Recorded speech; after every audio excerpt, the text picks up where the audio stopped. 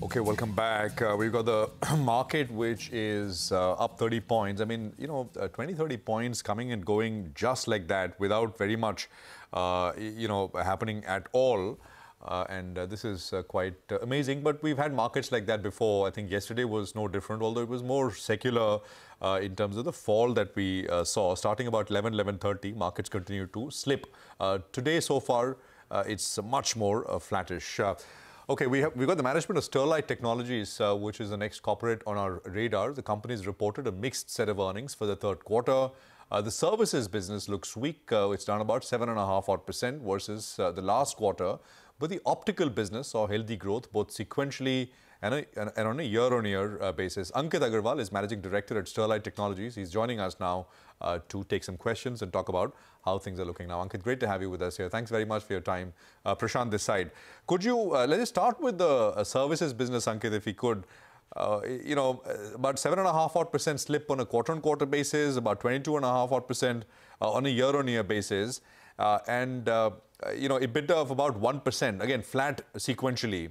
Uh, could you talk to us about uh, you know how that business, what happened in that business, how is it looking this quarter so far, and what's the outlook? Sure. Thanks, Prashant. Uh, so I think first is uh, you know definitely overall from STL perspective, we're very focused on core being the optical business, and as we shared earlier, we're very consciously looking at what projects we take up on services from two areas.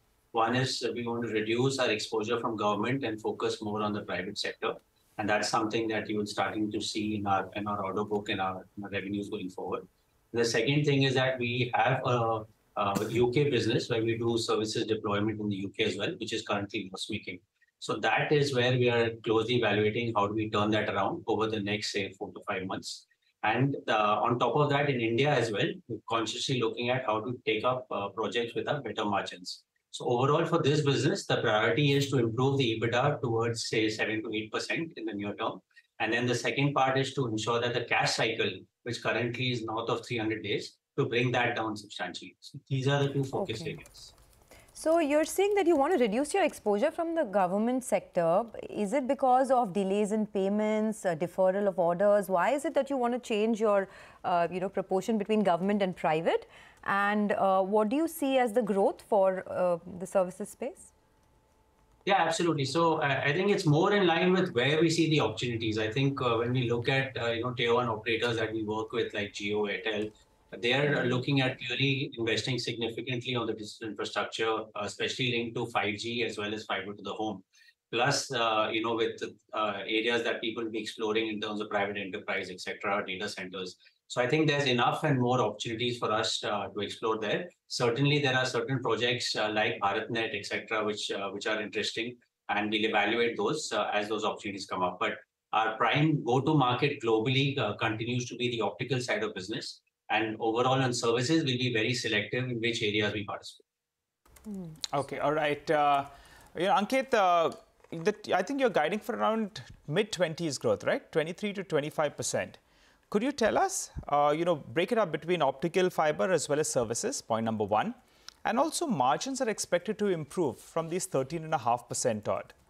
To what levels should we look at in FY24? Sure. So uh, just to be clear, what, what we are specifically guiding right now is uh, our EBITDA, prof, uh, EBITDA percentage on the optical business.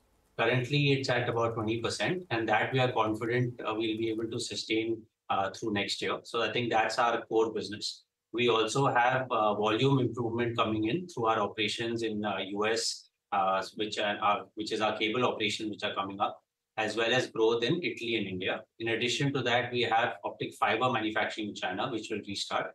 So these are the volume drivers that will come in into next year. Uh, and one of the cost areas that we currently see is quite high is helium, which is having a significant impact on our cost on the fiber side uh, that we hopefully see uh, start seeing a reduction with global helium prices coming down probably in six to eight months from now.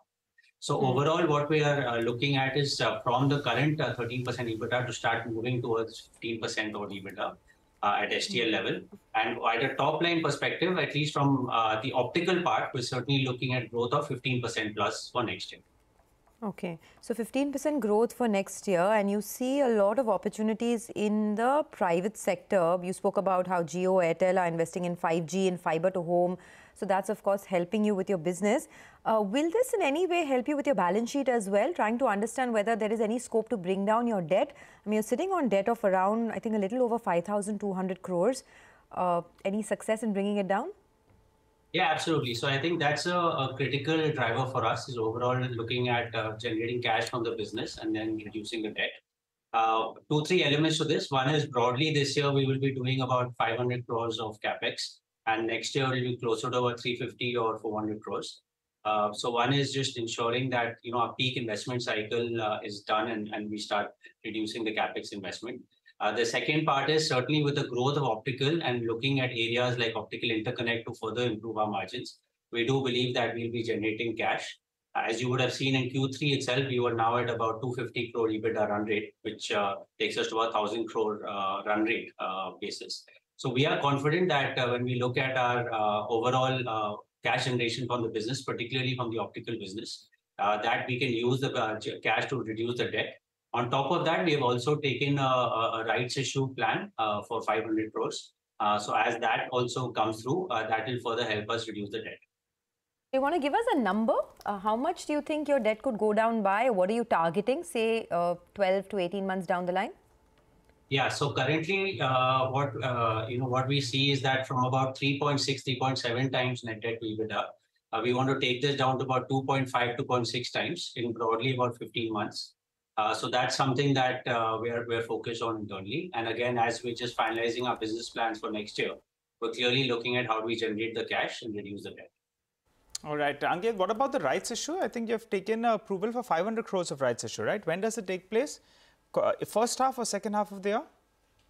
So we've not, uh, I think we have a committee that we shared we have in place. Broadly, what we have shared is that the quantum is, is 500 crores and that the promoters will be participating. Uh, when we have a committee which will share the details in due course. Okay, and your debt currently is around 3,400 crores, right? Net debt? That's right. So, so keeping in mind the capex, the internal accruals that you'll be doing, plus this rights issue, you'll end FY24 with a net debt of? So currently we're looking at around 3,200, 3,300 crore of net debt. Um, and then obviously, as I said, cash generation next year, uh, the rights issue, uh, as well as lower capex next year, there we believe that we should start seeing further reduction in our, in our net debt. Hmm. Uh, you have been gaining market share in certain geographies in the quarter gone by, at least in the first half of FY23. Uh, can you tell us what's the market share currently like? Are you still gaining ground and across geographies, if you can give us a sense? Yeah, absolutely. It's something that uh, we're very excited by. We're very uh, passionate about taking the Indian technology, Indian manufacturing products to the world very proud that now we have uh, north of uh, you know 14%, 15% share of US, north of 20% uh, market share of Europe, and really leading positions in markets like UK, uh, Italy, etc. So that's something that we continue to see strong growth. Uh, just to give you a sense of a couple of markets uh, like US, we believe that for the next three to four years there will be a CAGR between now and 2025 of almost 12 to 14 percent. and again in Europe also between 7 to 8 percent. So fairly strong uh, growth markets for us. Between just these two markets is about 75, 80% of our optical sales. So quite focused on, you know, manufacturing globally uh, with a core base in India and then selling to tier one telecom operators around the world. That's something that we continue to see quite positive momentum going forward. All right, uh, Ankit, we'll leave it there. Good luck. Thank you very much uh, for joining us, as always, uh, to talk about the business picture overall. Thanks indeed. Uh, that's Sterlite Tech in focus. Uh, 13 points, uh, so absolutely flat kind of uh, session so far. Uh, but stocks are moving around, and we'll kind of uh, put the spotlight on some of that stuff in just a bit from now. We'll take a break and.